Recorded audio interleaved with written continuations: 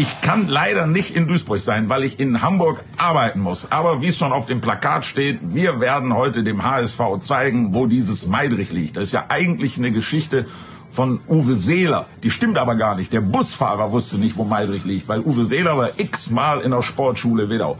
Also das haben mir jedenfalls diese beiden Duisburger Fußballikonen gerade hier im Schmidt-Theater erzählt. Wen wollten Sie grüßen? Also ich würde ganz gerne den Bernhard grüßen, hoffe, dass er gesund und munter ist und alles Gute wünschen. Und ich grüße alle Duisburger Freunde. Und der HSV nimmt die drei Punkte mit wie immer. Das denken die, aber wie dem auch sei.